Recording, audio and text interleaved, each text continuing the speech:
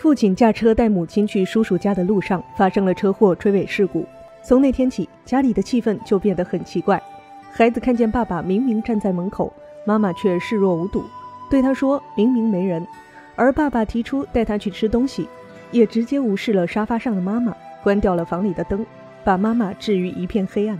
第二天，妈妈带孩子外出买东西，孩子看见爸爸坐在公园长椅上，心事重重的抽烟，忍不住叫了声爸爸。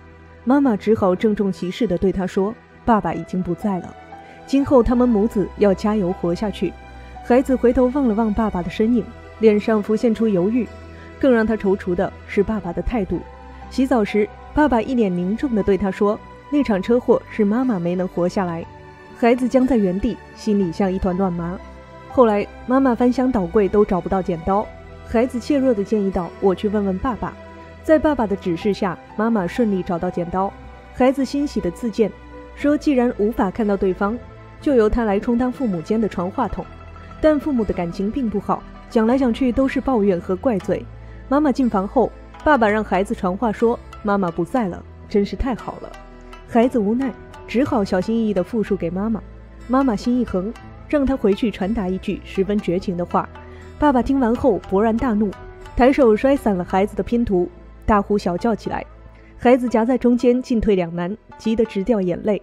他感觉自己的灵魂被生生撕裂，终于昏了过去。醒来时，妈妈正搂着他，柔声向他道歉。等妈妈走进厨房，他才看到一直坐在沙发的爸爸。从那以后，孩子再也无法同时看见两人，父母像再也无法交集的两个世界，逼他做出抉择。孩子半夜颓唐地跑到公园秋千掉眼泪，见妈妈走来安慰他。他把自己的决定告诉妈妈，选择和妈妈一起生活，再也看不见爸爸了。结果妈妈反倒开始担心了。她带孩子去看心理医生，孩子告诉医生，爸爸出车祸去世。医生指了指他身后活生生的父亲，问道：“那是谁？”孩子盯着看了半天，说：“没有人。”原来感情破裂的父母都当对方死了，还强行把孩子拉进他们的恩怨，让孩子的内心蒙受巨大的阴影。孩子的心理问题反而成为夫妇的另一种羁绊，让他们彼此反省和同情。尽管孩子的世界依旧看不到父亲，但夫妻二人却得以重新相敬如宾。